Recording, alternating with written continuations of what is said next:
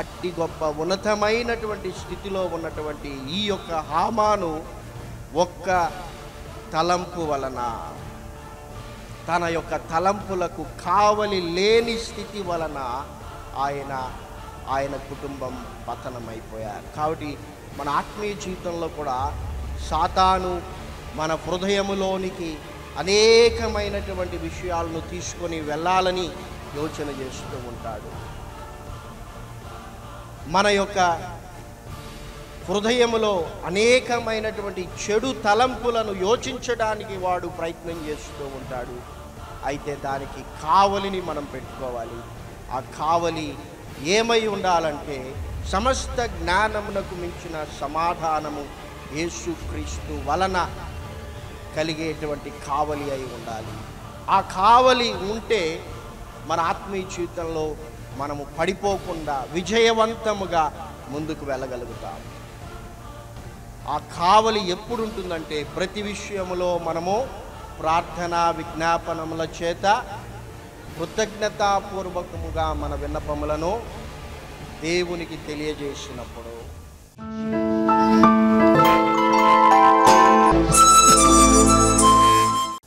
ప్రార్థన యొక్క శక్తి అన్నటువంటిది మన యొక్క అంశం. సరే మొదటి ప్రశ్న ఏమిటంటే ప్రార్థన అనగా ఏమిటి? ఎందుకు మనము ప్రార్థించాలి? ప్రార్థన అనగా ఏమిటి అని మనము చూచినట్లయితే మనకు అర్థమయ్యే భాషలో సులభముగా చెప్పుకోవాలి అంటే ప్రార్థన అనగా మనము దేవునితో మాట్లాడుట. దేవునితో మనము మాట్లాడే దాన్నే ప్రార్థనగా మనము చెప్పుకోవచ్చు. అయితే ఈ యొక్క ప్రార్థన అన్నటువంటిది ఏదో మనకు భయము కలిగినప్పుడో లేకపోతే బాధ కలిగినప్పుడో లేకపోతే బాగలేనప్పుడో లేకపోతే బాగా కష్టముగా అనిపించినప్పుడో చేసేటువంటిది కాదు. ఈ యొక్క ప్రార్థన అన్నటువంటిది మన జీవితాన్ని మార్చేదిగా ఉన్నది. ఈ ప్రార్థన ద్వారా మనము రూపాంతరము పొందాలి. యేసు ప్రభువులు వారు ఒక ఎత్తైనటువంటి కొండ మీదకి వెళ్ళి ఏకాంతముగా తండ్రికి ఆయన ప్రార్థన చేస్తూ ఉన్నప్పుడు ఆయన రూపాంతరము చెందినట్లుగా మనం చూస్తూ ఉన్నాం. అఫ్ కోర్స్ అక్కడ యేసు ప్రభువులు వారు ఫిజికల్గా బాహ్యముగా ఆయన రూపాంతరము చెందారు. అయితే ఇప్పుడు మన యొక్క ఆత్మీయ జీవితంలో మనము అంతరంగములో రూపాంతరము చెందాలి. చాలామంది వాళ్ళు వేసుకున్నటువంటి బట్టలు దగదగ మెరవాలని చాలా డిజైనింగ్ బట్టలు వేసుకుంటూ ఉంటారు.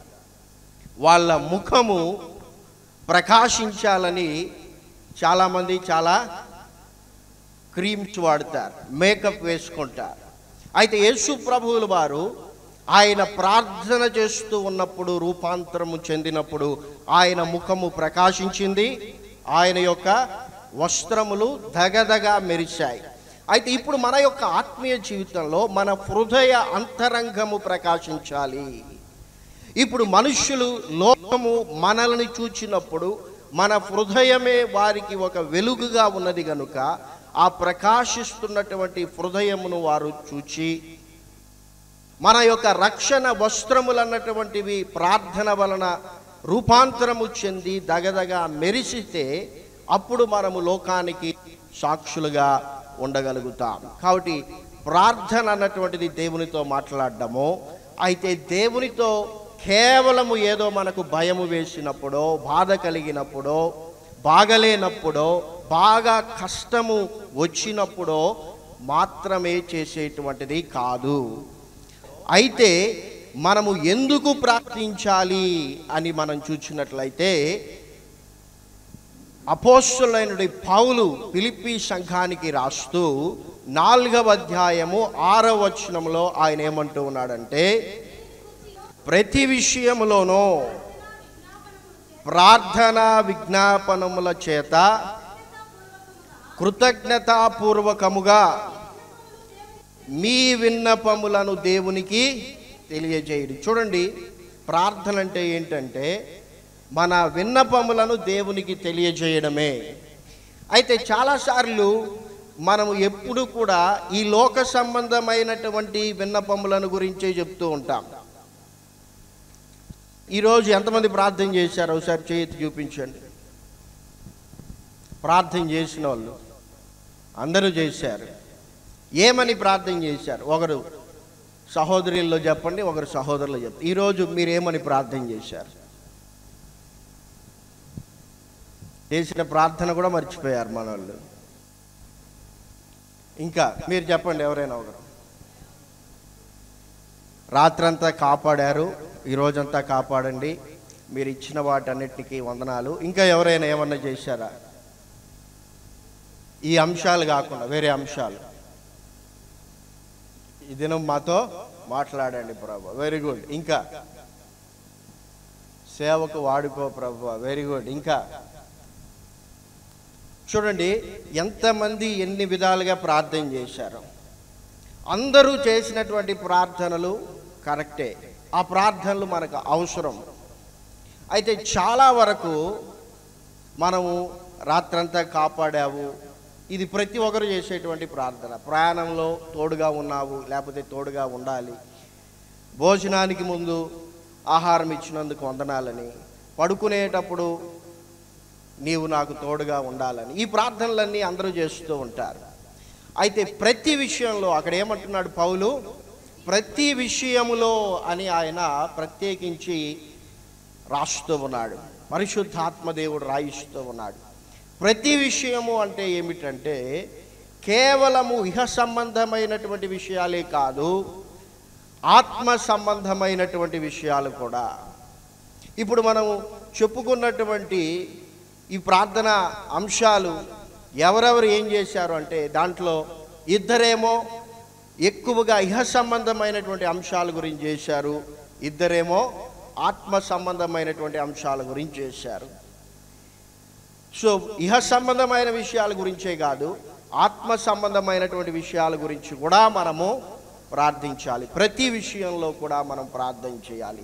ఎలా ప్రార్థన చేయాలి అన్నటువంటిది ఆయన ఏం చెప్తున్నాడంటే మన విన్నపములను కృతజ్ఞతాపూర్వకముగా దేవునికి తెలియజేయమంటూ ఉన్నాడు. అంటే కేవలం మనం దేవుణ్ణి అడగడమే కాదు చాలామంది క్రైస్తవులు ఎక్కువ శాతము వారు దేవుణ్ణి అడుగుతూనే ఉంటారు కానీ వారు దేవునికి ఏమీ చెల్లించరు. మనము దేవునికి కృతజ్ఞతాస్థుతులు చెల్లింపబద్ధులమై ఉన్నాం. ఎప్పుడు ప్రార్థనలో దేవుణ్ణి అడగడమే కాదు మనం ప్రార్థనలో దేవునికి కృతజ్ఞతాస్థుతులు చెల్లించాలి. అందుకే పౌలు అంటున్నాడు ప్రతి విషయములోనూ ప్రార్థనా విజ్ఞాపనముల చేత కృతజ్ఞతాపూర్వకముగా అంటే దేవుడు ఇదివరకే మీ జీవితాలలో చేసినటువంటి మేలులను మీరు స్మరిస్తూ తలంచుచు జ్ఞాపకము చేసుకుంటూ కృతజ్ఞతాస్థుతులు చెల్లిస్తూ ఆయనకు ప్రార్థన చేయమని ఆయన తెలియజేస్తూ ఉన్నాడు. అన్నిటికంటే ప్రాముఖ్యమైనటువంటి విషయం అసలు ఎందుకు మనం ప్రార్థన చేయాలి? యేసు ప్రభుని నమ్ముకున్నాం. యేసు ప్రభు దేవుడని తెలుసు. యేసు ప్రభు తిరిగి వస్తాడని తెలుసు. ఆయన రాకడ కొరకు ఎదురు చూస్తున్నాం. అయితే ఎందుకు అసలు ప్రార్థన చేయాలి? దాని తర్వాత వచ్చినమే చదవండి. పౌలు ఎందుకు అసలు మీరు ప్రార్థన చేయాలన్నటువంటి విషయాన్ని పిలిపి పత్రిక నాలుగవ అధ్యాయము ఏడవ వచనంలో ఆయన తెలియజేస్తూ ఉన్నాడు.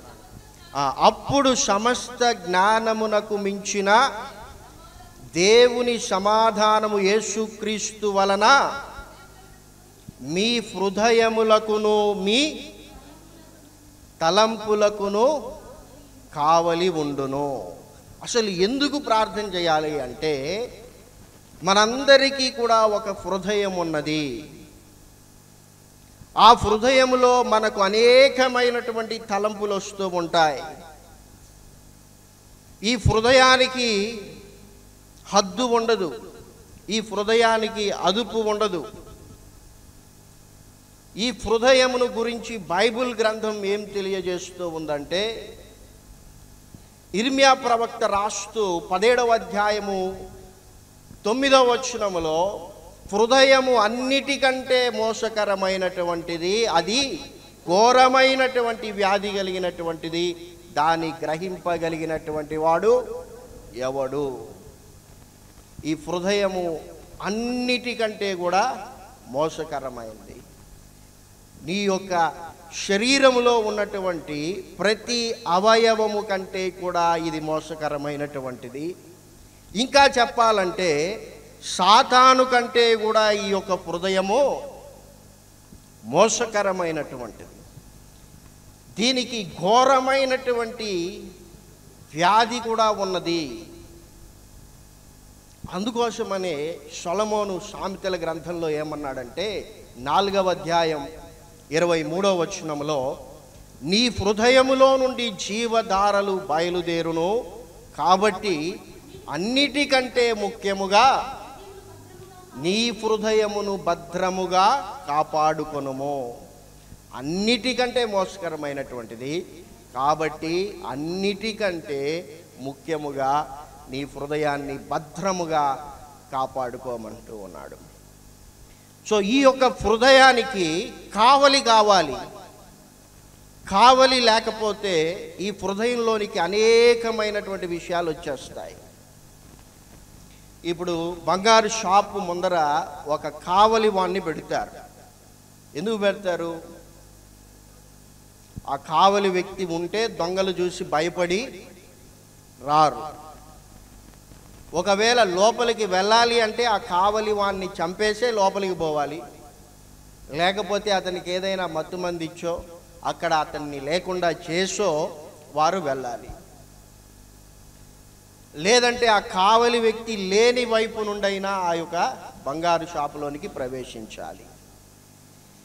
పరిశుద్ధాత్మ దేవుడు ఏమంటున్నాడంటే ప్రార్థన ఎందుకు మీకు అవసరం అంటే మీ హృదయానికి యేసుక్రీస్తు యొక్క సమాధానము కావలిగా ఉంటే మీ హృదయములోనికి ఈ లోక సంబంధమైనటువంటి విషయాలు వెళ్ళవు.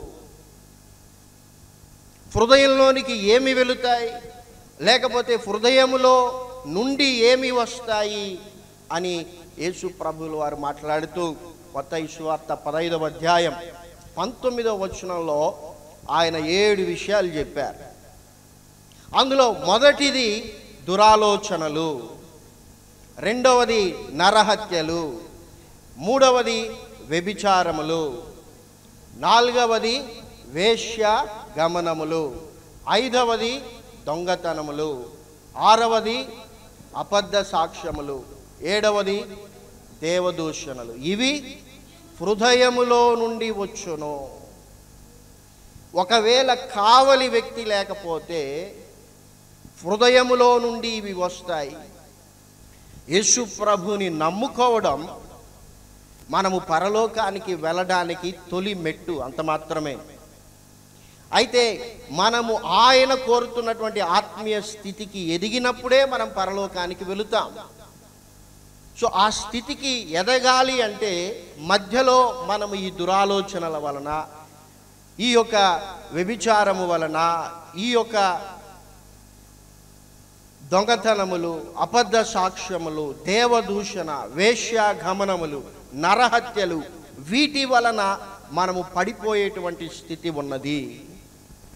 బైబిల్ గ్రంథంలో ఈ యొక్క ఏడు విషయములను బట్టి పడిపోయినటువంటి ఎంతో గొప్ప వ్యక్తులు ఉన్నారు అయితే మన అంశం అది కాదు కాబట్టి దాని గురించి మనము వివరముగా ధ్యానించడం లేదు. అయితే హృదయానికి కావలి కావాలి. ఆ యొక్క కావలి అన్నటువంటిది సమస్త జ్ఞానమునకు మించినటువంటి యేసుక్రీస్తు సమాధానము. మన హృదయానికి కావలిగా ఉండగలిగితే మనము చక్కగా ఆత్మీయ జీవితంలో ముందుకు వెళ్ళగలుగుతాం. దాని తర్వాత తలంపులు మనలో కలుగుతూనే ఉంటాయి. మన తలంపులకు కూడా కావలి ఉండాలి. కావలి లేకపోతే పనికిరాని తలంపులు మనకు వస్తాయి. పనికిరాని తలంపులు వచ్చినప్పుడు మన జీవితము భ్రష్టత్వములోనికి వెళ్ళిపోతుంది. మనం యేసుప్రభు నమ్ముకొని ఉండొచ్చు. మనం క్రైస్తవులముగా ఉండవచ్చు. పాటలు పాడుతూ ఉండొచ్చు. చర్చికి వస్తూ ఉండవచ్చు. యూత్ లీడర్గా ఉండొచ్చు. ఇవన్నీ మనము కలిగి ఉండవచ్చు కానీ మనము ఆత్మ సంబంధమైనటువంటి జీవితంలో ప్రార్థన అన్నటువంటి సహవాసముతో మనము అంటు కట్టబడి ఉండకపోతే మన జీవితంలో ఏదో ఒక చెడు తలంపు వచ్చి మనము ఆత్మీయ జీవితంలోనే కాదు ఈ లోక జీవితంలో కూడా పతనమైపోయేటువంటి స్థితి ఉన్నదని మనము గుర్తించాలి. ఉదాహరణకు హామాను అన్నటువంటి ఒక వ్యక్తి ఉన్నాడు. తెలుసా మీకు? పాత నిబంధనలో. ఈ యొక్క హామాను ఎవరంటే ఒక పెద్ద రాజ్యంలో ఒక గొప్ప అధికారమును కలిగినటువంటి వ్యక్తి. ఒక ఉన్నతమైనటువంటి స్థితిలో ఉన్నటువంటి వ్యక్తి. అయితే ఈ యొక్క హామాను ఒక తలంపును యోచన చేశాడు. యూదులందరినీ కూడా నాశనం చేయాలని యూదుడైనటువంటి మొద్దకైని ఉరి తీయడానికి ఆయన ఒక ఉరి కొయ్యను కూడా సిద్ధం చేశాడు. అయితే ఆయన ప్రార్థన చేయలేదు. ఆయన ఆత్మీయుడు కాదు కాబట్టి ఆయన యొక్క తలంపులకు కావలి లేదు కాబట్టి ఆ యొక్క తలంపును ఆయన ఆచరణలోనికి తీసుకొని వచ్చాడు. చివరికి ఏమైందంటే ఆయన ఏ యూదుని కొరకైతే ఉరి కొయ్యను సిద్ధం చేశాడో అదే ఉరి కొయ్య పైన ఉరి తీయబడ్డాడు. ఆయన మాత్రమే కాదు ఆయన కుటుంబంలో ఉన్నటువంటి వారందరూ కూడా అదే ఉరి కొయ్య మీద ఉరి తీయబడ్డారు. ఏంటిది అంటే ఆయన ఒక తలంపును యోచన చేశాడు. దేవునికి విరోధమైనటువంటి ఒక్క తలంపు. ఆ తలంపు వచ్చుటకు ముందు వరకు ఆయన ఎవరంటే ఒక పెద్ద రాజ్యములో ఒక ఉన్నతమైనటువంటి అధికారమును కలిగినటువంటి వ్యక్తి. రాజు ఆయనను హెచ్చించాడు. ఆయనను ఘనపరిచాడు. అధికారుల పైన ఆయనకు అధికారాన్ని ఇచ్చాడు. అట్టి గొప్ప ఉన్నతమైనటువంటి స్థితిలో ఉన్నటువంటి ఈ యొక్క హామాను ఒక్క తలంపు వలన తన యొక్క తలంపులకు కావలి లేని స్థితి వలన ఆయన ఆయన కుటుంబం పతనమైపోయారు. కాబట్టి మన ఆత్మీయ జీవితంలో కూడా సాతాను మన హృదయములోనికి అనేకమైనటువంటి విషయాలను తీసుకొని వెళ్ళాలని యోచన చేస్తూ ఉంటాడు. మన యొక్క హృదయములో అనేకమైనటువంటి చెడు తలంపులను యోచించడానికి వాడు ప్రయత్నం చేస్తూ ఉంటాడు. అయితే దానికి కావలిని మనం పెట్టుకోవాలి. ఆ కావలి ఏమై ఉండాలంటే సమస్త జ్ఞానమునకు మించిన సమాధానము యేసుక్రీస్తు వలన కలిగేటువంటి కావలి అయి ఉండాలి. ఆ కావలి ఉంటే మన ఆత్మీయ జీవితంలో మనము పడిపోకుండా విజయవంతముగా ముందుకు వెళ్ళగలుగుతాము ఆ కావలి ఎప్పుడు ఉంటుందంటే ప్రతి విషయములో మనము ప్రార్థనా విజ్ఞాపనముల చేత కృతజ్ఞతాపూర్వకముగా మన విన్నపములను దేవునికి తెలియజేసినప్పుడు. కాబట్టి మనము ప్రార్థన చేయాలి. ఇప్పుడు మనము ఎలా ప్రార్థించాలి అని ఒక మూడు విషయాలను చూద్దాం. దాని తర్వాత ఎలా ప్రార్థించకూడదో కూడా బైబిల్ తెలియజేస్తుంది. అవి కూడా ఒక మూడు విషయాలు చూద్దాం. మొట్టమొదటిగా మనము విశ్వాసముతో ప్రార్థన చేయాలి. యాకోబు రాస్తూ చూడండి మొదటి అధ్యాయం ఆరో వచనంలో ఆయన రాస్తూ ఉన్నాడు. మనము విశ్వాసముతో ప్రార్థన చేయాలి. చదవండి యాకోబు పత్రిక మొదటి అధ్యాయం అయితే. అతడు ఏమాత్రము సందేహింపక విశ్వాసముతో అడుగవలెను. సందేహించువాడు గాలి చేత రేపబడి ఎగిరిపడు సముద్ర తరంగమును పోలియుండును. చాలు. ఎలా ప్రార్థన చేయాలి? విశ్వాసముతో ప్రార్థన చేయాలి. సందేహపడకుండా అంటే మనం ప్రార్థన చేసినప్పుడు మనకు సందేహం వస్తుంది. దేవుడు సహాయం చేస్తాడా? చెయ్యడా? లేకపోతే కొంతమందికి ఇంకా ఏం సందేహం ఉంటుందంటే అసలు నేను చేసే ప్రార్థన కరెక్టా? తప్ప. నేను చేసే ప్రార్థనను దేవుడు అంగీకరిస్తాడా? అంగీకరించడా? ఏది సరైనటువంటి ప్రార్థన? ఏది సరైనటువంటి ప్రార్థన కాదు. అనేకమైనటువంటి సందేహములు ప్రార్థన చేసినప్పుడు మనలో కలుగుతూ ఉంటాయి. అయితే బైబిల్ ఏం చెప్తుందంటే మీరు ప్రార్థన చేసినప్పుడు మీరు దేవుణ్ణి అడిగినప్పుడు మీరు విశ్వాసముతో దేవుణ్ణి అడగాలి ప్రార్థన చేయాలి. సో ఈ విశ్వాసం అన్నటువంటిది మనకి ఎలా కలుగుతుంది?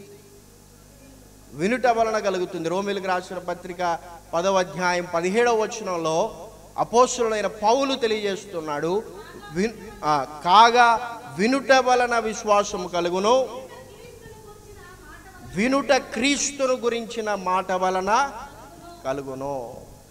సో ప్రార్థన మనము విశ్వాసముతో చేయాలి అంటే మొట్టమొదటిగా మనము ఈ దేవుని వాక్యాన్ని చదివేవారిగా ఉండాలి.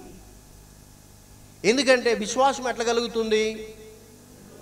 వినుట వలన కలుగుతుంది. ఏమి వినుట వలన కలుగుతుంది? క్రీస్తుని గురించినటువంటి మాటలను వినుట వలన కలుగుతుంది. ఈ బైబిల్ గ్రంథంలో ఏమున్నాయి? క్రీస్తును గురించినటువంటి మాటలు ఉన్నాయి. ఆది కాండము నుండి ప్రకటన గ్రంథం వరకు కూడా యేసుక్రీస్తును గురించినటువంటి మాటలు ఇందులో ఉన్నాయి. పాత నిబంధనలో ఉన్నటువంటి ముప్పై తొమ్మిది పుస్తకాలలో కూడా యేసుక్రీస్తుని గురించినటువంటి ప్రస్తావన ఉన్నది. క్రొత్త నిబంధనకు పాత నిబంధన ఒక పునాది వంటిది. కాబట్టి మన యొక్క జీవితాలలో ఈ దేవుని వాక్యాన్ని మనము చదివేటువంటి వారిగా ఉండాలి.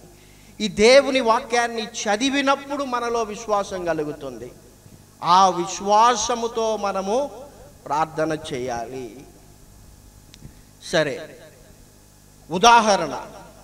మార్కు స్వార్త ఐదవ అధ్యాయము ఇరవై ఐదవ వచనం నుండి ఇరవై తొమ్మిదవ వచనం వరకు మనం చదువుదాం. పన్నెండేళ్ళ నుండి రక్తస్రావ రోగం కలిగిన ఒక స్త్రీ ఉండెను.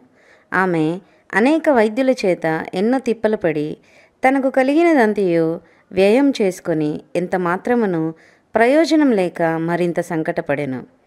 ఆమె యేసును గూర్చి విని నేను ఆయన వస్త్రములు మాత్రం ముట్టినా బాగుపడదననుకొని జనసమూహంలో ఆయన వెనుకకు వచ్చి ఆయన వస్త్రం ముట్టెను. వెంటనే ఆమె రక్తధార కట్టెను. కనుక తన శరీరంలోని ఆ బాధ నివారణ అయినదని గ్రహించుకునేను. రక్తస్రావ రోగముతో బాధపడుతున్నటువంటి ఒక స్త్రీ ఉన్నది. అసలు క్రీస్తుని గురించినటువంటి మాటను వినుట వలన ఎట్టి విశ్వాసం కలుగుతుందో అన్నటువంటి దాన్ని గురించి మనము ఆలోచన చేయడానికి ఇక్కడ కొంతసేపు మనము నిదానంగా ఈ వచనాల్ని చూడాలి. ఈమె ఎన్ని సంవత్సరముల నుండి బాధపడుతోంది? పన్నెండు సంవత్సరముల నుండి బాధపడుతూ ఉంది.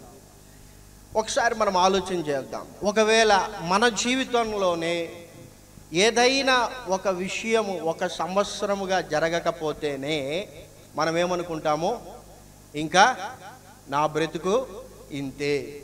ఇది జరగదు. ఇక ఇది వీలు కాదు.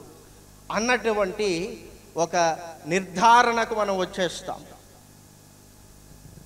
అయితే ఒక సంవత్సరం కాదు రెండు కాదు పన్నెండు సంవత్సరాలుగా ఈమె ఆ వ్యాధితో బాధపడతానే ఉంది. ఆమె గురించి ఇంకా ఏం చెప్పబడింది? ఆమె అనేక వైద్యుల దగ్గరికి వెళ్ళింది. ఎన్నో తిప్పలు పడింది. అంటే వాళ్ళు అది చేయమంటే అది చేసింది ఆ మందు తినమంటే అది తినింది ఇక్కడికి కాదు అక్కడికి వెళ్ళమంటే అక్కడికి వెళ్ళింది. ఇట్లా వెళుతూ తనకు కలిగినటువంటి దాన్ని అంతటినీ కూడా ఆమె ఏం చేసింది? వ్యయం చేసింది ఖర్చు పెట్టేసింది. అయితే ఆమెకు చివరికి మిగిలింది ఏమిటంటే బాధ మాత్రమే ఎలాంటి ప్రయోజనము కూడా ఆమెకి దొరకలేదు.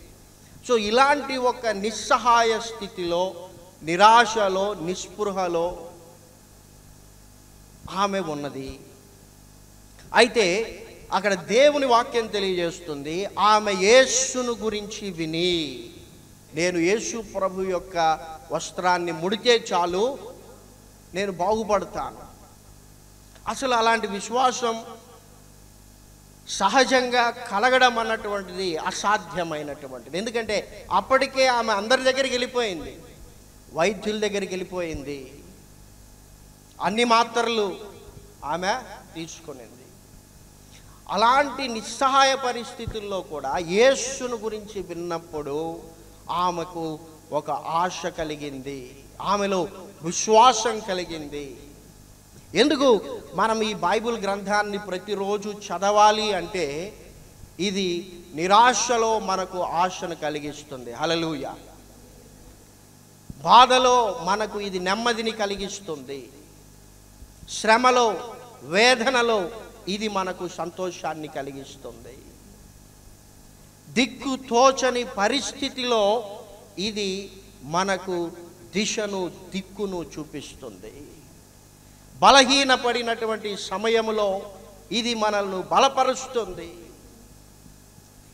నిస్సహాయ స్థితిలో మనము పడి ఉన్నప్పుడు ఇది మనకు సహాయము చేసి మనల్ని లేవనెత్తుతుంది. కాబట్టి మనం ఈ వాక్యాన్ని చదవాలి. ఈ వాక్యాన్ని మనము వినాలి. ఎప్పుడైతే ఆమె వినిందో ఆమెలో ఎంత గొప్ప విశ్వాసం వచ్చిందంటే ఈ యేసు ప్రభువు నన్ను బాగు చేయగలడు అని మాత్రమే కాదు. ఈ వ్యాధి కలిగినటువంటి వారు సమాజమునకు బయట ఉండవలసినటువంటి వారు. వీరు మనుష్యులను ముట్టడానికి వీలు లేదు మనుష్యులు వీరిని ముట్టడానికి వీలు లేదు. ధర్మశాస్త్ర ప్రకారము ఈ వ్యాధి కలిగినటువంటి వారు సమాజమునకు వెలుపల ఉండవలసినటువంటి వారు. అయితే ఈమెకు ఒక విశ్వాసం కలిగింది ఏంటంటే నేను యేసు ప్రభుని ముట్టుటకు యోగ్యురాలను కాకపోయినప్పటికీ అర్హురాలను కాకపోయినప్పటికీ నేను యేసు ప్రభువుని ముట్టగలను అన్నటువంటి ధైర్యం వచ్చింది. హలలుయ ఎంత ధైర్యం.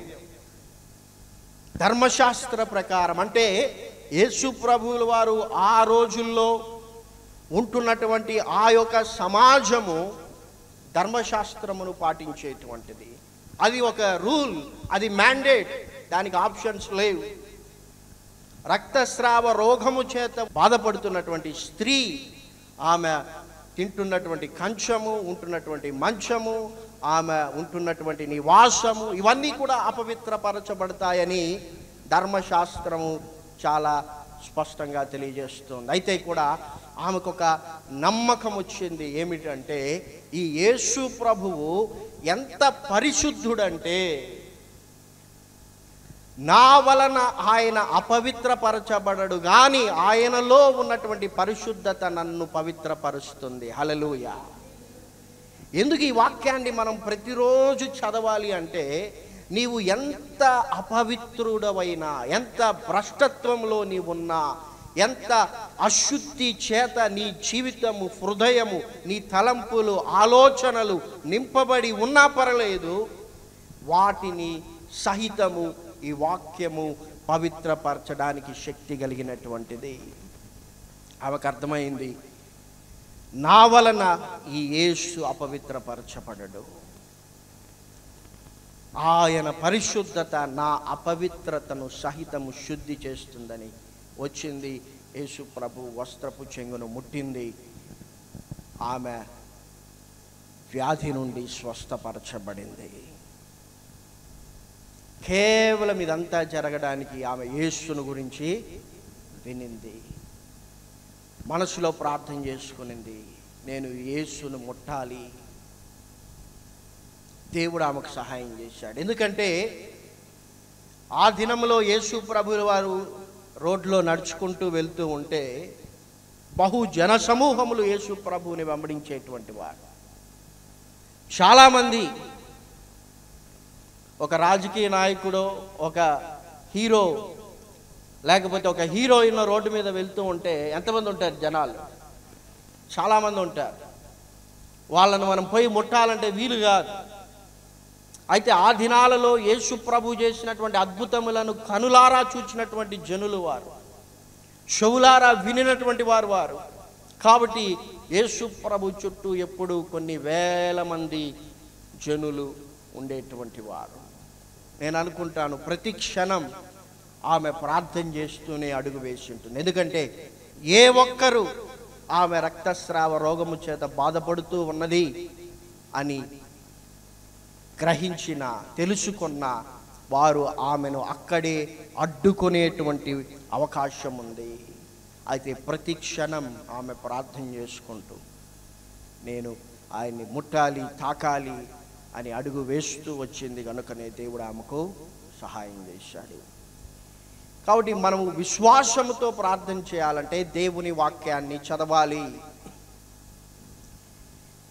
కేవలము ఈ లోక సంబంధమైనటువంటి వ్యాధులు లేకపోతే రోగముల కొరకే కాదు మనము విశ్వాసంతో ప్రార్థన చేయాల్సినటువంటిది.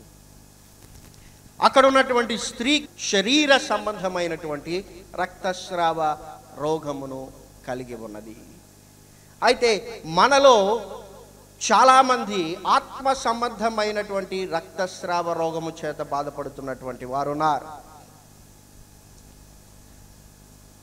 ఆ యొక్క ఆత్మ సంబంధమైనటువంటి రక్తస్రావ రోగము మనలను క్రీస్తుకు దూరం చేస్తూ ఉంది. చాలామంది ఎందుకు ప్రార్థన చేయరంటే నువ్వు ఆల్రెడీ పాపం చేస్తూ ఉన్నావు కాబట్టి ఇంకెందుకు ప్రార్థన చేస్తావు? నీకు తెలుసు నీవు చేస్తున్నది పాపం. నీకు తెలుసు నీవు జీవిస్తున్నటువంటి బ్రతుకు పాపపు బ్రతుకని. ఇంకెందుకు ప్రార్థన చేయడం? ఇంకెందుకు బైబిల్ చదవడం? ఇంకెందుకు దేవుని మందిరానికి రావడం అని అక్కడే ఆగిపోయేటువంటి వారు కూడా చాలామంది ఉన్నారు. అది ఆత్మ సంబంధమైనటువంటి రక్తస్రావ రోగమునకు సాదృశ్యంగా ఉన్నది. దాని నుండి నీవు విడుదల పొందాలన్నా స్వస్థత పొందాలన్నా నీవు ఆ రోజు ఆ స్త్రీ దేవుని యొక్క క్రీస్తు యొక్క వస్త్రాన్ని ముట్టింది. అందులో నుండి ఆయన యొక్క ప్రభావము వెడలి ఆమెను స్వస్థపరిచింది. అయితే ఈరోజు ఆయన వేసుకున్నటువంటి వస్త్రానికి ఈ దేవుని వాక్యము సాదృశ్యంగా ఉన్నది. హలలుయ ఆయన వాక్యము ప్రభావము కలిగినటువంటిది. ఇరవై తొమ్మిదవ కీర్తనలో దావీదు భక్తుడు దేవుని యొక్క స్వరమును గురించి మాట్లాడుతూ యహోవా స్వరము ప్రభావము కలిగినటువంటిదని ఆయన తెలియజేస్తున్నాడు. ఈ మాట ఈ వాక్యం ఈ పరిశుద్ధ గ్రంథం ప్రభావము కలిగినటువంటిది. నీవు ఈ వాక్యాన్ని తాకగలిగితే నీలో ఉన్నటువంటి ఆత్మ సంబంధమైనటువంటి రక్తస్రావము నిలిచిపోయి నీవు స్వస్థత నొంది దేవునికి సాక్షిగా బ్రతకగలుగుతావు. హలలుయ దాని తర్వాత ఆమె సాక్ష్యం చెప్పింది. సాక్షిగా బ్రతికింది. కాబట్టి మన జీవితంలో విశ్వాసముతో మనము ప్రార్థన చేయాలి. ఇహ సంబంధమైన విషయాల కొరకే కాదు ఆత్మ సంబంధమైనటువంటి విషయాల కొరకు కూడా. సరే రెండవదిగా మనము ఎలా ప్రార్థన చేయాలి అని మనము చూసినట్లయితే యేసు ప్రభువులు వారే చెప్తున్నారు మనము నమ్మికతో ప్రార్థన చేయాలి. చూడండి చదువుదాం. మార్కు సువార్త పదకొండవ అధ్యాయము ఇరవై నాలుగవ వచనం. అందుచేత ప్రార్థన చేయనప్పుడు మీరు అడుగుచున్న వాటి నెలను పొంది ఉన్నామని నమ్ముడి. అప్పుడు అవి మీకు కలుగునని మీతో చెప్చున్నాను ఇక్కడ యేసు ప్రభువులు వారు అంటూ ఉన్నారు మీరు ప్రార్థన చేసినప్పుడు మీరు వేటినైతే అడిగి ఉన్నారో వాటిని పొంది ఉన్నామని నమ్ముడి.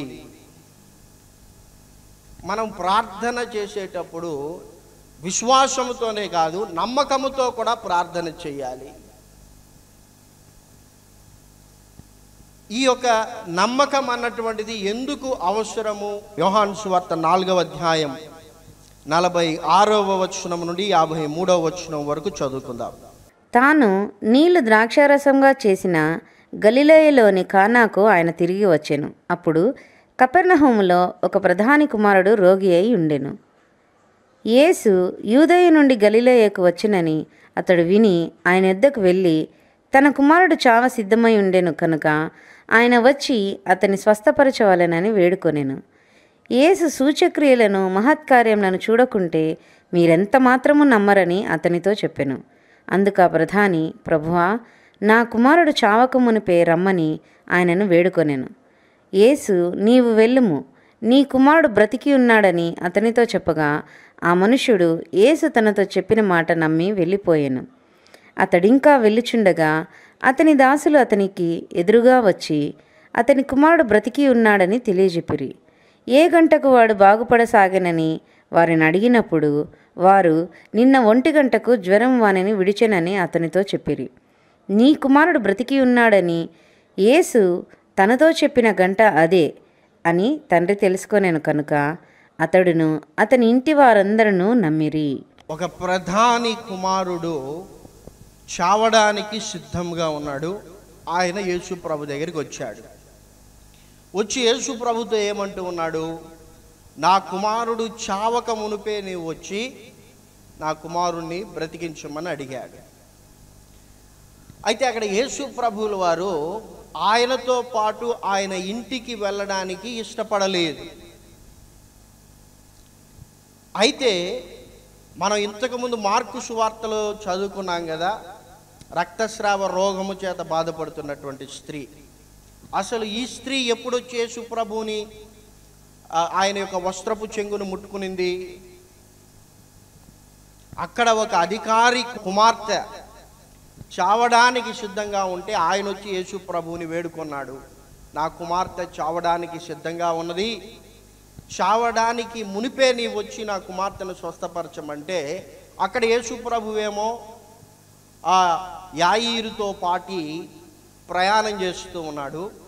ఆయన ఇంటికి వెళుతూ ఉన్నటువంటి మార్గము మధ్యలో ఈ యొక్క రక్తస్రావం చేత బాధపడుతున్నటువంటి స్త్రీ వచ్చి యేసు ప్రభు వస్త్రపు చెంగును ముట్టింది.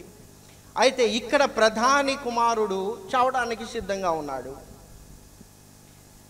చావడానికి సిద్ధంగా ఉంటే ఆయన వచ్చి చనిపోవడానికి ముందే నీ వచ్చి నా కుమారుని బాగు చేయాలని అడుగుతున్నాడు. అయితే ఇక్కడ యేసు ప్రభు ఆయనతో వెళ్ళడానికి ఇష్టపడడం లేదు. సో మొదటగా మనకు ఎందుకు నమ్మకం కావాలంటే చాలాసార్లు మనం ఎలా ప్రార్థన చేస్తామంటే ఆ వ్యక్తికి అది ఇచ్చావు కాబట్టి నాకు కూడా ఇది ఇవ్వు. పక్కింటోళ్ళు క్రైస్తవులు అనుకోండి వాళ్ళు ఏదైనా ఒక వస్తువు కొంటే వాళ్ళకి ఇచ్చావు కాబట్టి మాకు కూడా ఇవ్వని ప్రార్థన చేస్తారు కొంతమంది. కొంతమంది ఎదిరింటోళ్ళు క్రైస్తవులు అనుకోండి వాళ్ళు ఏదైనా ఒకటి కొంటే మాకు అది కావాలని ప్రార్థన చేస్తారు. అయితే ఇక్కడ మనం ఏం నేర్చుకోవాలంటే దేవుడు వారికి ఇచ్చాడు కాబట్టి నీకు కూడా ఇవ్వాలి అన్నటువంటి రూల్ లేదు ఇస్తాడు అన్నటువంటి గ్యారంటీ కూడా లేదు. అర్థమైందా? అక్కడేమో యాయిర్ కుమార్తె చావడానికి సిద్ధంగా ఉంటే రమ్మంటే ఆయన ఆయనతో బయలుదేరాడు. ఇక్కడేమో ప్రధాని కుమారుడు ఆయన చావడానికి సిద్ధంగానే ఉన్నాడు. ఆయన ఇంటికి రమ్మన్నాడు. అయితే ఈయనతో ఆయన వెళ్ళలేదు. కాబట్టి మనకి ఎందుకు నమ్మకం కావాలంటే దేవుడు తప్పకుండా నా ప్రార్థనకు తన చిత్త ప్రకారము జవాబు ఇస్తాడు అన్నటువంటి నమ్మకమును కలిగి ఉండాలి. హలలుయ నీకు నచ్చినట్లు కాదు. అర్థమవుతుందా? నీకు నచ్చినట్లయితే ఈ సంవత్సరంలోనే ఆ ఎగ్జాము నువ్వు బాగా రాయాలి నీకు సీట్ రావాలి. నీకు నచ్చినట్లయితే ఈ సంవత్సరమే వాళ్ళతో పెళ్ళైపోవాలి. నీకు నచ్చినట్లయితే ఈ సంవత్సరమే ఆ ఉద్యోగం నీకు రావాలి. అట్లా ఉండదు ఎప్పుడు. దేవునికి ఒక చిత్తం ఉంటుంది. దేవుని తలంపులు వేరు మన తలంపులు వేరు మన ఆలోచనలు వేరు ఆయన ఆలోచనలు వేరు కాబట్టి మనకు మొట్టమొదటిగా నమ్మకం అన్నటువంటిది ప్రార్థనలో ఎందుకంటే ప్రార్థన చేశావు తప్పకుండా దేవుడు ఆ ప్రార్థనకు ప్రతిస్పందిస్తాడు. ఎలా ప్రతిస్పందిస్తాడంటే ఆయన చిత్త ప్రకారం తప్పకుండా ప్రతిస్పందిస్తాడన్నటువంటి నమ్మకం నీకు ఉండాలి ఇక్కడ ఈయనతో ఏం చెప్తున్నాడు? నీవు వెళ్ళు నీ కుమారుడు బాగుపడును. అక్కడ ఏం రాయబడింది? ఆ మనుష్యుడు యేసు తనతో చెప్పిన మాటను నమ్మి ఒకవేళ ఆయన యేసు ప్రభుతో అక్కడే గొడవ పెట్టుకున్నాడు అనుకోండి ఆయన ఇంటికేమో నువ్వు వెళ్ళావు నా ఇంటికి ఎందుకు రాలేదని గొడవ పెట్టుకుంటే ఆయనకి నమ్మకం ఉంటుందా? నమ్మకము ఉండదు. ఆయన నమ్మాడు ఏంటిదంటే ఈయన సర్వశక్తి కలిగినటువంటి దేవుడు. ఈయన నా ఇంటికే రావాల్సినటువంటి పనిలే. ఈయన నోటి మాటతో చాలు నా కుమారుడు బ్రతకగలడు. ఆయన మాటకు ఆయన వాక్యానికి అంత శక్తి ఉన్నదని ఆయన గుర్తించాడు. కాబట్టి ఆయన నమ్మాడు. నమ్మి ఆయన వెళుతూ ఉంటే అప్పుడు ఆయన ఇంట్లో నుండి కొంతమంది మనుషులు వచ్చారు. మనకులాగా అప్పట్లో వాట్సాప్ కాల్స్ లేవు వీడియో కాల్స్ లేవు ఫేస్బుక్ మెసెంజర్ కాలింగ్స్ లేవు. వెంటనే ఇంటికి ఫోన్ చేసి భార్యకి కొడుకు బ్రతికాడా లేదా? ఒకసారి వాటితో మాట్లాడి. ఈ నేసుప్రభు ఏమో చెప్పాడు వెళ్ళిపోమని. మన ఇంటికి ఆయన ఉన్నటువంటి స్థలానికి చాలా దూరం ఉంది. కన్ఫర్మ్ అయితేనే వస్తాను అని చెప్పేటువంటి పరిస్థితి లేదు. నమ్మాడు ఆయన ఎంత దూరం నుంచి వచ్చాడో తెలియదు. అయితే నమ్మాడు నా కొడుకు బ్రతికాడని. నమ్మి వెళ్ళినప్పుడు మధ్యలో ఆయన ఇంటి నుండి మనుషులు వచ్చి నీ కుమారుడు బాగుపడ్డాడు. ఎప్పుడు బాగుపడ్డాడు? ఆ గడియకు ఏ గడియ? యేసు ప్రభు ఏ గడియకైతే నీ కుమారుడు బాగుపడ్డాడని చెప్పాడు అదే గడియకు ఆయన కుమారుడు బాగుపడ్డాడు. హలలుయ ఆ నమ్మకం కావాలి మనకి ప్రార్థనలో. అది మనకు ప్రతికూలముగా అనిపించిన జవాబు. నమ్మడానికి అసాధ్యం అనిపించిన మనము నమ్మాలి దేవుడు తప్పకుండా నా ప్రార్థనను విన్నాడు ఆయన ప్రతిస్పందించాడు ఆయన చిత్త ప్రకారం నాకు సహాయం చేస్తాడు. నమ్మకం అన్నటువంటిది ఎందుకు అవసరము అని మనము మరొక ఉదాహరణను చూచినట్లయితే యేసు ప్రభువుల వారు ఒకసారి సముద్రాన్ని దాటి గెరాసేనుల ప్రాంతమునకు వచ్చినప్పుడు బహుదయ్యములు పట్టినటువంటి అపవిత్రాత్మలు పట్టినటువంటి ఒక వ్యక్తి యేసు ప్రభువుకి ఎదురుగా వచ్చాడు. యేసు ప్రభువుల వారు అతనిలో ఉన్నటువంటి అపవిత్రాత్మలన్నింటినీ కూడా వెళ్ళగొచ్చారు. వెళ్ళగొట్టినటువంటి తరువాత ఆయన ఒక ప్రార్థన చేస్తూ ఉన్నాడు. ఆ ప్రార్థన ఏమిటి? యేసు ప్రభు దానికి ఏ విధంగా ప్రతిస్పందించాడు? ఇవి రెండు మనం చూస్తే మన యొక్క ప్రార్థనలో ఎందుకు నమ్మకం ఉండాలో మనకు అర్థమవుతుంది. చూడండి చదవండి. మార్కు సువార్త ఐదవ అధ్యాయం పద్దెనిమిది పంతొమ్మిది వచనాలు. ఆయన దోణ ఎక్కినప్పుడు దయ్యములు పట్టినవాడు ఆయన యొద్ద తన్నుండనిమ్మని ఆయనను బతిమాలుకొనెను కానీ ఆయన వానికి సెలవియ్యక నీవు నీ ఇంటివారి యొద్దకు వెళ్ళి ప్రభువు నీ ఎందు కనికరపడి నీకు చేసిన కార్యములన్నిటినీ వారికి తెలియజెప్పమనెను. ఒకవేళ ఈ వ్యక్తికి నమ్మకం లేదనుకోండి ఈ వ్యక్తి యేసు ప్రభు ఆయన చెప్పినట్లుగా వినలేదు కాబట్టి యేసు ప్రభు మీద కోప్పడైనా ఉండాలి. లేకపోతే యేసు ప్రభు ఆయన అనుకున్న విధంలో జవాబు ఇవ్వలేదు కాబట్టి బాధపడైనా వెళ్ళిపోవాలి. అయితే ఈయనకి నమ్మకం ఉంది. ఏమని నమ్మకం ఉందంటే ఈ యేసు ప్రభు నన్ను ఇది చేయమన్నాడంటే ఇది తప్పకుండా మంచికే. ఒక ఉద్దేశం ఉంది. ఒక ప్రణాళిక ఉంది అని ఆయన గ్రహించి వెళ్ళాడు. ఆ ప్రాంతంలో ఉన్నటువంటి వారందరికీ ప్రభు చేసినటువంటి కార్యములను వివరించాడు. వాళ్ళు ఆశ్చర్యపడ్డారని దేవుని వాక్యం తెలియజేస్తుంది. సరే మూడవదిగా మనము ఎలా ప్రార్థన చేయాలి అని చూసినట్లయితే దేవుని చిత్తానుసారముగా మనం ప్రార్థన చేయాలి. మొదటి యోహాను పత్రిక ఐదవ అధ్యాయం పద్నాలుగో వచ్చిన చదువు ఆయనను బట్టి మనకు కలిగిన ధైర్యం ఏదనగా? ఆయనను బట్టి మనకు కలిగిన ధైర్యం ఏదనగా? ఆయన చిత్తానుసారముగా ఆయన చిత్తానుసారముగా మనము ఏది అడిగినను? మనము ఏది అడిగినను? ఆయన మన మనవి ఆలకించునన్నదియే ఆయన మన మనవి ఆలకించున్నదియే సో దేవుని చిత్త ప్రకారం మనం ప్రార్థన చేయాలి. ఎందుకు దేవుని చిత్త ప్రకారం ప్రార్థన చేయాలంటే దేవుని చిత్త ప్రకారం మనం ఏమి అయితే అడుగుతామో అది ఆయన మనకు తప్పకుండా దయచేస్తాడు. మనము చేసేటువంటి ప్రార్థనను దేవుడు అంగీకరించాడు అన్నటువంటి కాన్ఫిడెన్స్ లేకపోతే ధైర్యము మనకు కలగాలంటే మనం ఆయన చిత్త ప్రకారము ప్రార్థన చేయాలి. ఆయన చిత్త ప్రకారం ప్రార్థన చేసినటువంటి వాళ్ళు ఎవరు? ఒక ఉదాహరణగా మనం తీసుకున్నట్లయితే యేసు ప్రభు దగ్గరికి ఒక తండ్రి వచ్చాడు. ఆయన కుమారునికి చాంద్ర రోగం అంటే మూగ దయ్యం పట్టింది. ఆ దయ్యం పట్టినప్పుడు ఆ వ్యక్తి కింద పడిపోయి గిలగిలా కొట్టుకునేటువంటి వాడు నీళ్ళు కనిపిస్తే నీళ్ళలో పడిపోయేవాడు అగ్ని ఉంటే అగ్నిలోనికి వెళ్ళిపోయేటువంటి వాడు. మొదటగా ఆ తండ్రి యేసుప్రభు శిష్యుల దగ్గరికి తీసుకొని వచ్చాడు. తీసుకొని వస్తే వాళ్ళు వెలగొట్టలేకపోయారు తర్వాత యేసు ప్రభు కొండ మీద ప్రార్థన చేశాడు. రూపాంతరం మనం ఉదయాన్ని చదువుకున్నాం. ఆ రూపాంతరము పొందినటువంటి తర్వాత ఆయన కొండ దిగి వస్తున్నప్పుడు చాలామంది గుంపు కూడారు అక్కడ. ఒక తర్కం జరుగుతూ ఉంటే యేసు ప్రభుల వారు ఏమిటని ప్రశ్నించినప్పుడు ఈ తండ్రి వచ్చి ఆయన బాధ చెప్పుకున్నాడు. సో అయితే ఇక్కడ యేసు ప్రభులు వారు ఆయనకి ఏం చెప్తున్నారంటే ఇరవై మూడవ వచనంలో అందుకు యేసు నమ్ముట నీ వలనైతే నమ్మువానికి నమ్మువానికి సమస్తము సాధ్యమే అని యేసుప్రభులు వారు చెప్పారు. చెప్పినప్పుడు ఈ తండ్రి ఒక ప్రార్థన చేస్తున్నాడు యేసుప్రభుకి దాని తర్వాత వచనంలో ఆ ప్రార్థన దేవుని చిత్తానుసారమైనటువంటి ప్రార్థనకు ఉదాహరణగా ఉంది. ఆ తండ్రి ఏమని ప్రార్థన చేస్తున్నాడు? నమ్ముచున్నాను. నాకు అపనమ్మిక ఉండకుండానట్లు సహాయం చేయమని బిగ్గరగా ప్రార్థన చేశాడు. చూడండి నమ్మడం అన్నటువంటిది దేవుని చిత్తం. ఆయన ఓపెన్గా చెప్తున్నాడు. నమ్ముట నీ వలనైతే నమ్మువానికి సమస్తము సాధ్యం.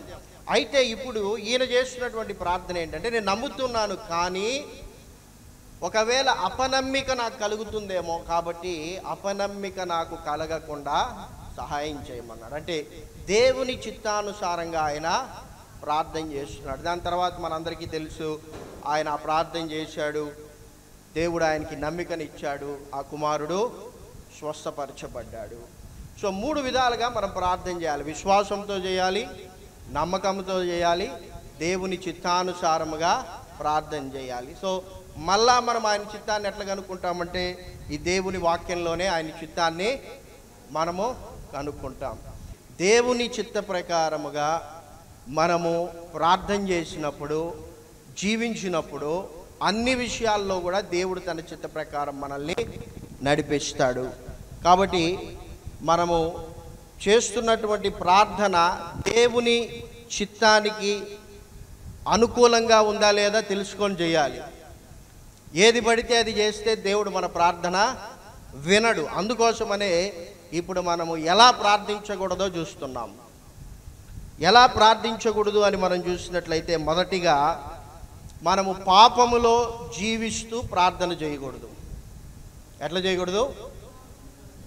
పాపములోనే ఉంటూ మనం ప్రార్థన చేస్తే దాని వలన ప్రయోజనము లేదు. అందుకే దావిది భక్తుడు ఏమన్నాడంటే కీర్తనల గ్రంథం అరవై ఆరు పద్దెనిమిదిలో నా హృదయంలో నేను పాపమును లక్ష్యము చేసినడలా ప్రభువు నా మనవి విన నా మనవి వినకపోవును. సో ఇక్కడ దావిదు భక్తుడు ఏమంటున్నాడంటే నేను ఒకవేళ పాపంలో ఉండి ప్రార్థన చేస్తే కూడా ప్రభువు నా మనవి వినడు. కాబట్టి మనము ప్రార్థన ఎలా చేయకూడదు అని ఆలోచన చేస్తూ ఉన్నప్పుడు ప్రార్థన చేయడానికి ముందుగా ఒకసారి మన జీవితాలను పరిశీలన చేసుకోవాలి. ఇప్పుడు మీరందరూ మార్నింగ్ ఈ యొక్క క్యాంపుకి వచ్చేటప్పుడు అద్దంలో మీ ముఖాలు చూసుకొని వచ్చింటారు కదా? ఎవరైనా చూసుకోకుండా వచ్చిన వాళ్ళు ఉన్నారా?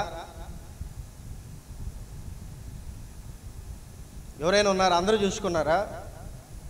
అందరూ చూసుకునే వచ్చాం. ఎందుకంటే బయటకు వచ్చేటప్పుడు మన ముఖం బాగుండాలా? ఎక్కడైనా జుట్టు కానీ సరిగా లేకపోతే సరి చేసుకోవాలా? ముఖం మీద ఏదైనా ఉంటే దాన్ని శుభ్రం చేసుకొని రావాలి కాబట్టి మనందరం అద్దంలో చూసుకొని వచ్చాం. అదేవిధంగా ప్రార్థన చేసే ప్రతిసారి మనము దేవుని వాక్యపు వెలుగులో మన ముఖాన్ని చూసుకోవాలి. అప్పుడు ఏవైనా మనలో లోపాలు ఉన్నాయా పాపాలు ఉన్నాయా దోషాలు ఉన్నాయా అతిక్రమాలు ఉన్నాయా కనిపిస్తాయి. వాటిని శుభ్రం చేసుకున్నటువంటి తర్వాత మనం ప్రార్థన చేయాలి. అవి శుభ్రం చేసుకోకుండానే మనం ప్రార్థన చేశామంటే ఆ పాపం అన్నటువంటిది మన ప్రార్థనను దేవుని దగ్గరికి చేయకుండా అడ్డుపడేటువంటి పరిస్థితి ఉన్నది. అందుకోసమనే మనము మొదటగా మన ముఖాన్ని ఏ విధంగా అయితే శుభ్రం చేసుకుంటామో ఆ విధంగా మన హృదయాన్ని దేవుని వాక్య పేరులో శుద్ధి చేసుకొని సరి చేసుకొని మనం ప్రార్థన చేస్తే దేవుడు మన ప్రార్థనను ఆలకిస్తాడు. సరే దీనికి ఒక ఎగ్జాంపుల్ ఏంటంటే సౌలు. చూడండి మొదటి సమయాల గ్రంథం ఇరవై ఎనిమిదవ అధ్యాయము నాలుగవ వచనం నుండి ఏడవ వచనం వరకు మనం చదువుదాం. మొదటి సమూహేలు గ్రంథం ఇరవై ఎనిమిదవ అధ్యాయము నాలుగవ వచనం నుండి ఏడవ వచనం ఫిలిస్తీన్లు దండెత్తి వచ్చి షునేములో దిగగా సౌలు ఇజ్రాయిల్ వారందరినీ సమకూర్చెను. వారు గిల్బోవాలో దిగిరి. సౌలు ఫిలిస్టీన్ల దండును చూచి మనసునందు భయకంపము నొంది యహోవ యొద్ద విచారణ చేయగా యహోవ స్వప్నము ద్వారానైనను ఉరీము ద్వారానైనను ప్రవక్తల ద్వారానైనను ఏమీ సెలవెక్కియుండెను. అప్పుడు సౌలు నా కొరకు మీరు పిచా మీరు కర్ణపిచాచి గల యొక్క స్త్రీని కనుగొనుడి. నేను దాని ఎద్దు పోయి విచారణ చేతునని తన సేవల సేవకులకు ఆజ్ఞేయగా వారు చిత్తము యజ్ఞోరులో కర్ణపిచాచం గల యొక్కత ఉన్నదని అతనితో చెప్పిరి. ఫిలిస్తీయులు షౌలు మీదికి దండెత్తి వచ్చారు. ప్రతిసారి కూడా రాజులు ఒక శత్రువు వారిపై యుద్ధానికి వచ్చినప్పుడు వాళ్ళు ఏం చేసేవాళ్ళు? ప్రార్థన చేసేవాళ్ళు. దేవుని దగ్గర విచారణ చేసేవాళ్ళు. ఈ యుద్ధంలో మేము పాలు పొందాలా వద్దా? వారి పైకి వెళ్ళాలా వద్దా? నువ్వు విజయాన్ని ఇస్తావా? ఇవ్వవా అని. ఇక్కడ షౌలు ఈసారి వాళ్ళు వచ్చినప్పుడు ప్రార్థన చేశాడు. ఏమైంది అక్కడ? దేవుడు జవాబిచ్చాడా దేవుడు జవాబు ఇవ్వలేదు. ఇవ్వనప్పుడు ఆయన ఏం చేశాడు? కన్నపిచాచి దగ్గరికి వెళ్ళాడు. మన జీవితంలో కూడా మనం ఏం గుర్తుంచుకోవాలంటే దేవుడు ఒకవేళ మన ప్రార్థనకు జవాబు ఇవ్వకపోతే మనము దేవుణ్ణి విడిచిపెట్టడం దేవుని చిత్తమో కాదు. చాలామంది ప్రార్థన చేస్తారు అది జరగలేదు అనుకోండి ఈ చర్చ్ వేస్ట్ ఈ చర్చ్ వద్దని ఇంకో చర్చికి వెళ్ళిపోతారు. వెళ్ళారు కదా మీరు చాలామంది అని చెప్పరు. చాలామంది వెళ్ళే ఉంటారు. ఇక్కడ సౌలు అదే చేశాడు.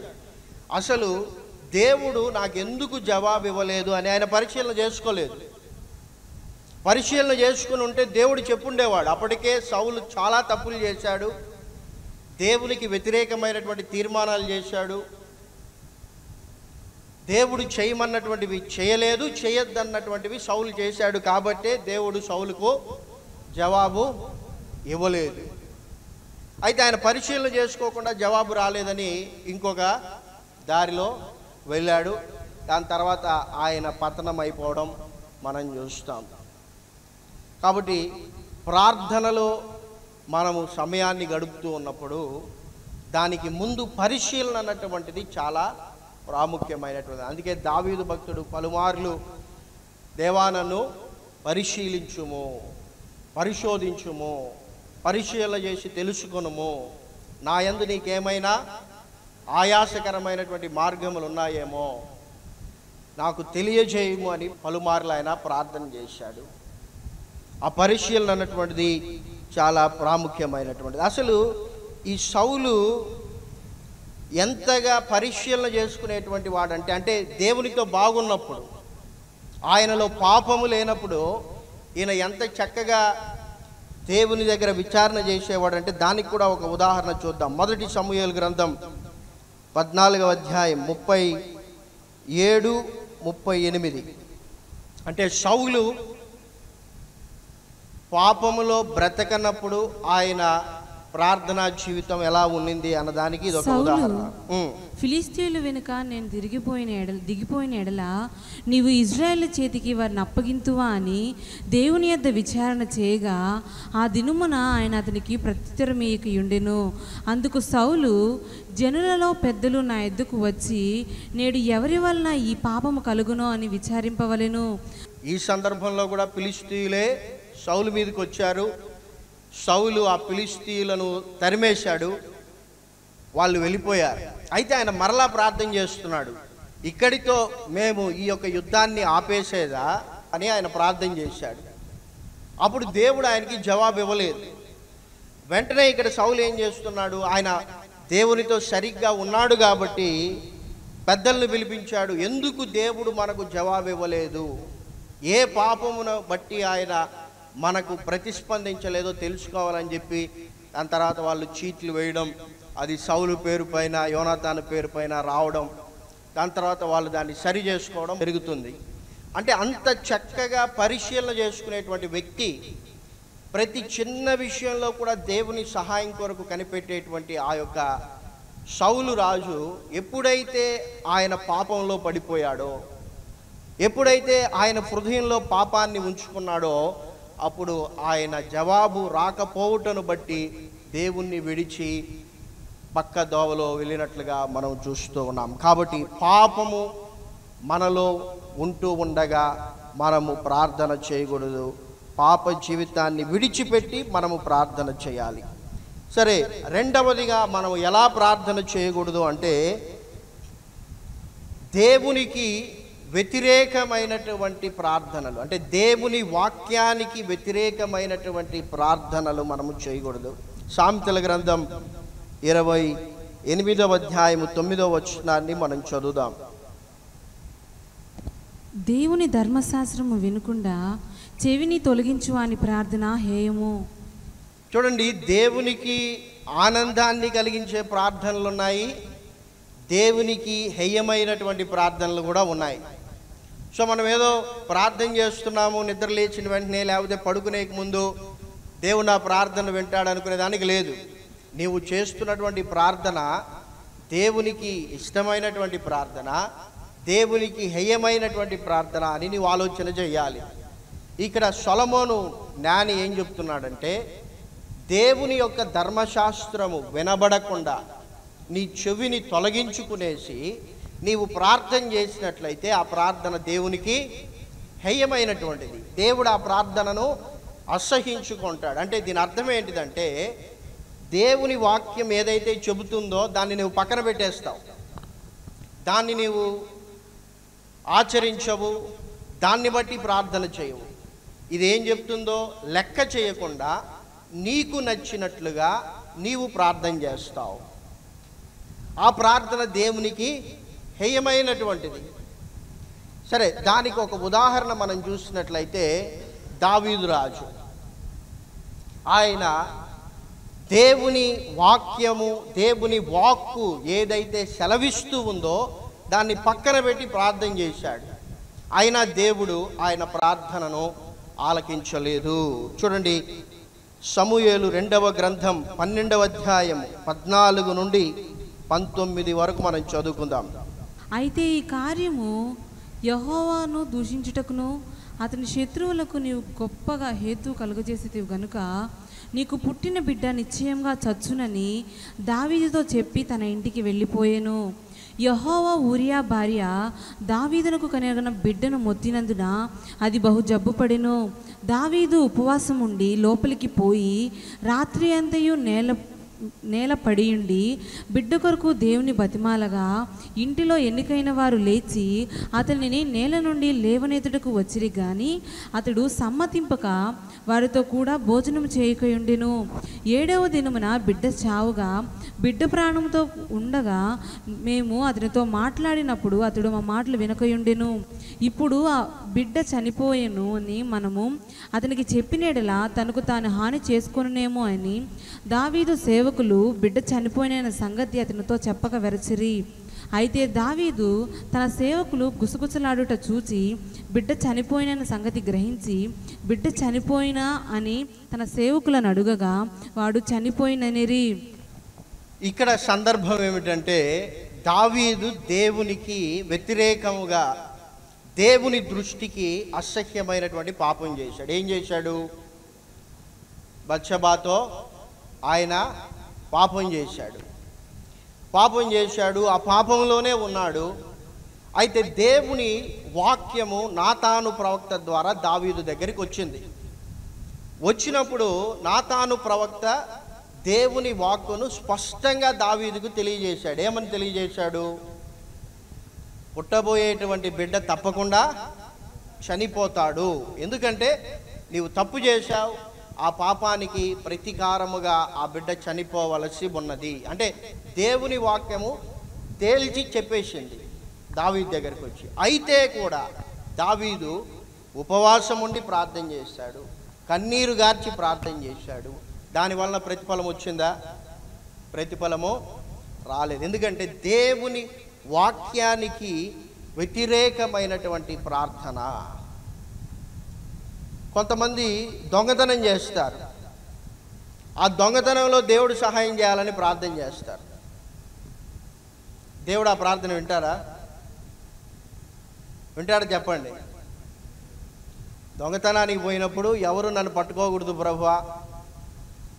ఎవరు పట్టుకోకపోతే నేను విజయవంతంగా ఆ అర కేజీ బంగారు దొంగతనం చేస్తే దాంట్లో నీకు పదవ భాగం ఇస్తానంటే దేవుడు సాయం చేస్తాడా? చేయడు. కొంతమంది చదవరు. పరీక్షలకు చదవరు. చదవకుండానే ప్రభా నువ్వు జ్ఞానాన్ని మళ్ళా సొలమోన్ లాంటి జ్ఞానం కావాలంటారు.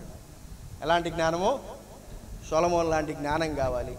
పాస్ అయిపోవాలనుకుంటారు. అవన్నీ కూడా దేవుని వాక్యానికి విరోధమైనటువంటి ప్రార్థనలు. ఆ ప్రార్థనలను దేవుడు అంగీకరించడు. దావీదు భక్తుడు ఎవరు?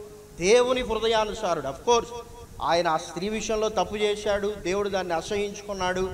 అలాంటి వ్యక్తే దేవుని కనికరము కొరకు కన్నీరు గారుస్తూ ఆయన ప్రార్థన చేసిన దేవుడు యాక్సెప్ట్ చేయలేదు. ఎందుకంటే ఆయన వాక్ ఆల్రెడీ దావీదుకు వచ్చింది. కాబట్టి ఈ వాక్యంలో ఏదైతే రాయబడి ఉందో దాన్ని నీవు తెలుసుకోకుండా దానికి వ్యతిరేకముగా నీవు ఎంత ప్రార్థన చేసినా దాని వలన ప్రయోజనం లేదు.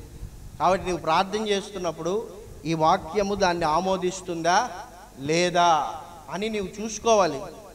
నీకు ఇష్టం వచ్చినట్లు మాట్లాడితే ఈ లోకంలో ఉన్నటువంటి చట్టాలే ఒప్పుకోవు మన మాటలకు హద్దులు ఉన్నాయి మన క్రియలకు మన చేష్టలకు హద్దులు ఉన్నాయి మన దేశం యొక్క రాజ్యాంగం కొన్ని పరిమితులు ఇచ్చింది.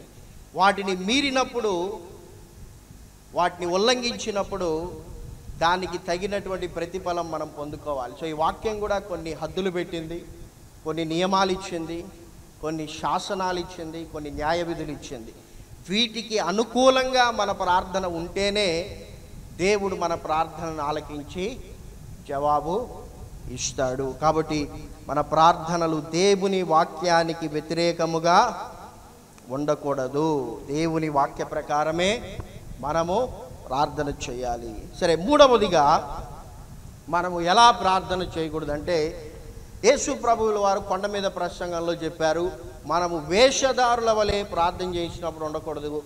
మరి ఈ లోకపు అన్యజనుల వలె మనము విస్తరించి మాట్లాడకూడదని చెప్పారు. చూడండి మా మతైసు వార్త ఆరవ అధ్యాయము ఐదు ఆరు ఏడు వచనాలని చదువుకుందాం. మరియు మీరు ప్రార్థన చేయనప్పుడు వేషధారుల వలె ఉండవద్దు మనుషులకు కనబడవలనని సమాజ మందిరంలోనూ వీధుల మూలల్లోనూ నిలిచి ప్రార్థన చేయుట వారికి ఇష్టము. వారు తమ ఫలము పొంది ఉన్నారని నిశ్చయముగా మీతో చెప్పుచున్నాను. మీరు ప్రార్థన చేయనప్పుడు నీ గదిలోనికి వెళ్ళి తలుపు వేసి రహస్యమందు నీ తండ్రికి ప్రార్థన చేయము. అప్పుడు రహస్యమందు చూచు నీ తండ్రి నీకు ప్రతిఫలం ఇచ్చును. మరియు నీవు ప్రార్థన చేయనప్పుడు అన్యజనుల వలె వ్యర్థమైన మాటలు వచింపవద్దు. విస్తరించి మాట్లాడుట వలన తమ మనవి వినబడినని వారు తలంచుచున్నారు. సో ఇక్కడ వేషధారుల వలె ప్రార్థన చేయొద్దని యేసు ప్రభుల వారు చెప్తున్నారు. సో ఈ వేషధారులు ఎలా ప్రార్థన చేస్తారు అన్నదానికి అక్కడ యేసు ప్రభులు వారు చెబుతూ కొంతమంది సమాజ మందిరాలలో వీధులలో అంటే బహిరంగంగా మనుషులకు కనిపించే విధముగా ప్రార్థన చేస్తారు. అలాంటి ప్రార్థన అవసరం లేదు. అంటే ఇప్పుడు మన భాషలో ఇప్పుడు మనం ఉన్నటువంటి పరిస్థితులు అర్థం కావాలంటే ఎప్పుడైనా ఆదివారం పాస్టర్ ప్రార్థన చేయమన్నాడు అనుకోండి ఇంకా వాళ్ళు ప్రార్థన చేస్తూనే ఉంటారు. పాస్టర్ పోయి మళ్ళీ అమ్మ ఇంక చాలు దండమమ్మ. ఆఫ్ చేయనే వరకు ఆఫ్ చేయరు లేదు ఎక్కడైనా మీటింగ్లో ఏదైనా కూడికలో ప్రార్థన చేయమని ఎవరికైనా అవకాశం ఇస్తే ఇంకా వాళ్ళు ప్రార్థన చేస్తూనే ఉంటారు. ఆఫ్ చేయరు. ఒకసారి ఒక అతను చెప్పాడు ఇది వాస్తవమో కాదో నాకు తెలియదు కానీ ఒకసారి ఆయన భోజనానికి కూర్చున్నప్పుడు ఒక అతన్ని ప్రార్థన చేయమన్నాడంట. ప్రార్థన చేయమంటే ఆయన ప్రార్థన చేసి చేసి చేసి చేస్తూనే ఉంటే ఆకలి వీళ్ళు తినేశారంట. తినేసినాక ఆమెను చెప్పాడంట ఆయన. సో మనుషులు చూస్తూ ఉంటే ప్రార్థన ఎక్కువసేపు చేయడం అంటే నిజంగా ఆయన ఇంత భక్తుడా? మనుషుల ముందర నువ్వు ఎంత ఎక్కువసేపు ప్రార్థన చేస్తే అంత చెడ్డ పేరు వస్తుంది నీకు. ఆ సమయానికి ఆ సందర్భానికి అనుకూలంగా ప్రార్థన చేసేయాలి ఆమెను అనేయాలి. కానీ నీవు ప్రార్థనలో మొత్తం నీవు నీకు నచ్చిందంతా చెప్తా వచ్చావంటే అది సరైనటువంటి ప్రార్థన కాదు. అప్పట్లో వీళ్ళు ఏం చేసేవాళ్ళంటే సమాజ మందిరంలో మనుషుల ఎదుట వీధులలో వీధి మూలలలో నిలబడి అందరికీ కనిపించే విధంగా ఎక్కువసేపు ప్రార్థన చేసేవాళ్ళు. అయితే యేసు ప్రభులు వారు అంటున్నారు అలాంటి వేషధారణ కాదు మనకు కావాల్సింది. నీవు నీ గదిలోనికి వెళ్ళి తలుపు వేసుకొని రహస్యమందు చూచుచున్న నీ తండ్రికి ప్రార్థన చేయి. అంటే నీ ప్రార్థన వ్యక్తిగతంగా దేవునితో అనుబంధాన్ని కలిగి ఉండాల? నీ ప్రార్థనకు మనుషులకు సంబంధం ఉండకూడదు. మనుషుల కోసం కాదు నువ్వు ప్రార్థన చేసేది. మనుషుల మెప్పు కోసం కాదు. దేవునితో నీకున్నటువంటి అనుబంధము అభివృద్ధి చెందుటకు నీవు ప్రార్థన చేయాలి. దాని తర్వాత ఆయన ఇంకోటి అంటూ ఉన్నాడు. విస్తరించి మాట్లాడుట వలన వారి మనవి వినబడునని జనులు అనుకుంటూ ఉన్నారంట. అంటే పనికిరాని మాటలను ప్రార్థనలో చేర్చడం. దీనికి ఏది ఉదాహరణ అని నేను ఆలోచన చేస్తున్నప్పుడు యేసు ప్రభువుల వారు శిలువ మీద వేలాడుతూ ఉన్నప్పుడు ఆయనకి ఇటువైపు కుడి ప్రక్కన ఎడమ ప్రక్కన ఇద్దరు దొంగలను శిలువ వేశారు. అందులో మొదటి దొంగ ఈ ప్రార్థన ఉదాహరణకు సరిగ్గా సరిపోతాడని నాకు అనిపించింది. చూడండి. లూకాసు వార్త ఇరవై మూడవ అధ్యాయం ముప్పై తొమ్మిదవ వచ్చిన వేలాడిబడినలో ఆ నేరస్తులలో ఒకడు ఆయనను దూషించుచు నీవు క్రీస్తువు కదా నీవు నన్ను రక్షించు నీవు నిన్ను నీవు రక్షించుకొనుము మమ్మను కూడా రక్షింపుమని చెప్పెను. ఇక్కడ యేసు ప్రభువులు వారు ఆ మాటల్లో చెప్తున్నటువంటి రెండు విషయాలు కనిపిస్తున్నాయి. వేషధారణ అంటే ఈయన బ్రతుకును మార్చుకోలేదు. అదే వేషధారణ. దేవుణ్ణి దూషిస్తూ ఉన్నాడు మళ్ళా ప్రార్థన చేస్తూ ఉన్నాడు. వేషధారణ అంటే ఏంటి? పైకి భక్తిగా ఉంటారు లోపల ఆ పాప బ్రతుకును అలానే కలిగి ఉంటారు కాబట్టి ఈయన బ్రతుకును మార్చుకోలేదు కానీ ప్రార్థన చేస్తూ ఉన్నాడు. అంటే వేషధారణ బ్రతుకు. అంత మాత్రమే కాదు ఈయన ఏం చేస్తున్నాడు? అసలు ఆ రెండో పాయింటే చేసింటే ఈయన కూడా పరలోకానికి వెళ్ళేవాడు. ఏమని? మమ్మను కూడా రక్షించు అని అంటే ప్రభు రక్షించేవాడు. విస్తరించి మాట్లాడాడు. అధికంగా మాట్లాడినాడు. నీవు క్రీస్తు అయితే నిన్ను నీవు రక్షించుకో. ఆ మొదటి పార్టీ ఈయన చేయకుండా ఉంటే దేవుడిని రక్షించేవాడు. రెండవ దొంగను ఏ విధంగా అయితే నేడు నీవు నాతో కూడా పరదేశంలో ఉంటావన్నాడో ఈయనతో కూడా ఆ మాట చెప్పిండేవాడే. అయితే ఈయన విస్తరించి మాట్లాడాడు. అధిక ప్రసంగం చేశాడు. ఎక్కువ మాట్లాడాడు. కాబట్టి మన ప్రార్థనలో మనము విస్తరించి మాట్లాడకూడదు. ఇంకా దీనికి ఒక ఉదాహరణ ఏంటంటే ఒక న్యాయాధిపతి తన కుమార్తెను బలిగా ఇచ్చేశాడు. అతని పేరు ఏం పేరు? వెరీ గుడ్ ఎఫ్తా. ఈయన కూడా అధికంగా ప్రార్థన చేశాడు. అంటే పనికిరాని మాటలు ఆయన ప్రార్థనలో ఉపయోగించాడు. ఏం చెప్పాడు చెప్పండి? అది వెరీ గుడ్ నేను గనుక ఈ యుద్ధంలో గెలిస్తే నేను ఇంటికి వెళ్ళినప్పుడు నాకు ఎదురుగా ఎవరైతే మొదటగా వస్తారో వాళ్ళని బలిగా ఇస్తాను అసలు దేవుడు అడిగాడు అది? అడగలేదు. చాలాసార్లు మనం కూడా ఊరినే అంటే ప్రభా ఈ సంవత్సరం నుండి నేను ఇది చేస్తాను. ఇంకటి నుంచి నేను ఖచ్చితంగా నీకోసం అలా చేస్తా ఇలా చేస్తా అని చెప్తూనే ఉంటాం కదా ప్రతి సంవత్సరం.